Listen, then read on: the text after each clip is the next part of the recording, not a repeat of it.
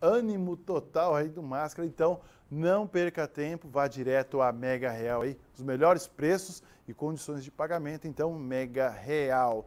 Na sequência, o nosso TVC agora, vamos direto para a CBN Campo Grande, a emissora que compõe o grupo RCN de Comunicação, onde está aí o, o nosso atacante da capital, Geliel Oliveira. Ô, Geliel, parece que tem uma compra do contrato da JBS. É isso mesmo, meu amigo? Muito bom dia.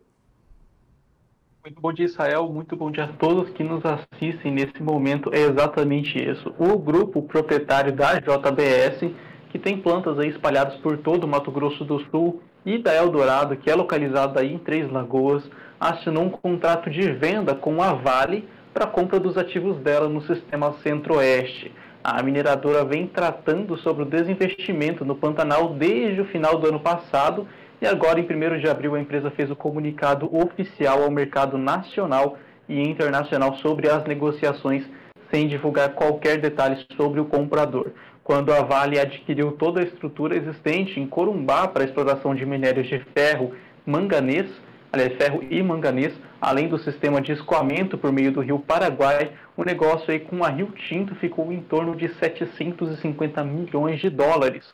Na época que esse contrato aí foi feito, que essa compra foi feita, a cotação da moeda norte-americana ficava na faixa dos R$ 2,30. A transação na época rendeu cerca de 1,7 bilhões de reais. A decisão de vender os ativos na cidade de Corumbá por parte da Vale está na análise de mercado que a empresa fez diante do custo de escoamento da produção e as dificuldades encontradas aí para exportação, principalmente devido à estiagem e impedimento de, da navegação comercial aí pelo rio Paraguai, um problema que vem se arrastando por quatro anos a serem completados agora em 2022. Então, o destaque é justamente esse. A Vale vendeu parte dos ativos, principalmente lá em Corumbá, e a JBS aí foi quem está fazendo o contrato para fazer essa aquisição, Israel.